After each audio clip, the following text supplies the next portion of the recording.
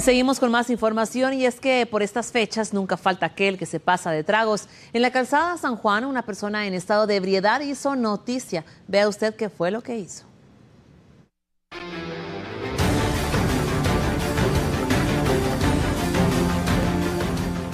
El cazador de noticias, Germán Cabrera, pasaba por un sector de la calzada San Juan y encontró a esta mujer a la orilla de la calle. Parecía que necesitaba ayuda y de inmediato dio aviso a los cuerpos de socorro.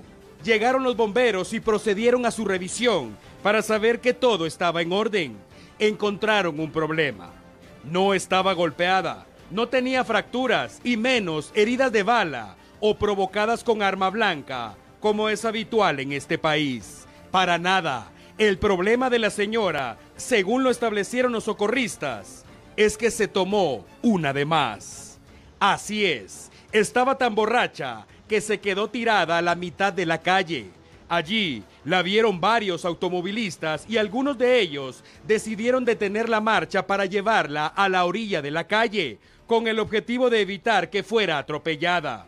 Mientras tanto, la mujer no se dio cuenta de nada. De hecho, cuando le hicieron algunas preguntas, su voz y sus respuestas dejaron claro que el consumo irresponsable de alcohol hace cambiar a cualquiera.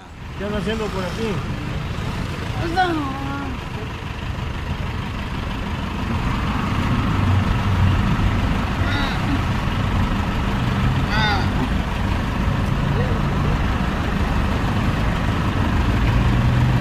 Espérense, ahí qué, ahí quédese. Tranquilo, tranquilo. Ahí quédese.